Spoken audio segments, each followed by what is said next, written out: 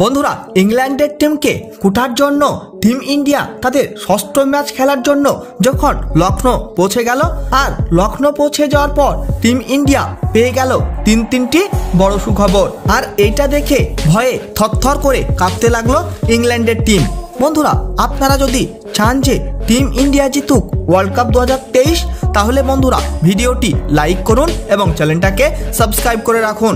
বন্ধুরা, আপনারা তো সকলেই জানেন যে টিম ইন্ডিয়া এখনও পর্যন্ত পাঁচটি ম্যাচ খেলে ফেলেছে এবং তার মধ্যে প্রথম ম্যাচে টিম ইন্ডিয়া ছয় উইকেটে হারালো অস্ট্রেলিয়াকে। দ্বিতীয় ম্যাচ টিম ইন্ডিয়া আট উইকেটে জিতল আফগানিস্তানকে হারিয়ে। তৃতীয় ম্যাচ সাত উইকেটে জিতে নেয় টিম ইন্ডিয়া পাকিস্তানকে হারিয়ে।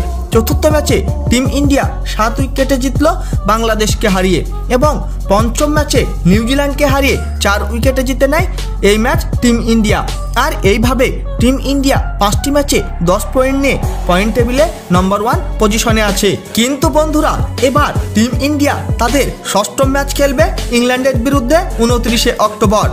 আর এই ম্যাচ শুরু হয়ে যাবে ভারত এবং ইংল্যান্ডের মধ্যে দুপুর দুটো থেকে লখনৌর একানা স্টেডিয়ামে। কিন্তু বন্ধুরা আর এই ম্যাচ শুরু হওয়ার ঠিক আগে টিম ইন্ডিয়া পেয়ে গেল একসঙ্গে তিন তিনটি বড় সুখবর। বন্ধুরা, আর প্রথম বড় সুখবর হলো যে হার্দিক পান্ডিয়া বাংলাদেশের বিরুদ্ধে বোলিং করার সময় চোট পেয়ে গিয়েছিল এবং এখন হার্দিক পান্ডিয়া পুরোপুরি ফিট হয়ে গেছে আর তাকে প্র্যাকটিস করতেও দেখা গিয়েছে। তারপর বন্ধুরা, দ্বিতীয় বড় সুখবর হচ্ছে যে কে রাহুল এখন দুর্দান্ত ফর্মে আছে এবং পাঁচ নাম্বার পজিশনে খুবই ভালো পারফরমেন্স করে যাচ্ছে। এবং তৃতীয় বড় সুখবর হচ্ছে যে, বিরাট কোহলি যদি ইংল্যান্ডের বিরুদ্ধে সেঞ্চুরি করে ফেলে, তাহলে সে উনপঞ্চাশতম সেঞ্চুরি করে ফেলবে। এবং বিরাট কোহলি ছুঁয়ে ফেলবে সচিন টেন্ডুলকারকে আর এটা কিন্তু বন্ধুরা, কোনো বড় সুখবরের থেকে কম কিছু নয়। বন্ধুরা টিম ইন্ডিয়া কি পারবে ইংল্যান্ডকে হারিয়ে ষষ্ঠমতম ম্যাচ জিততে?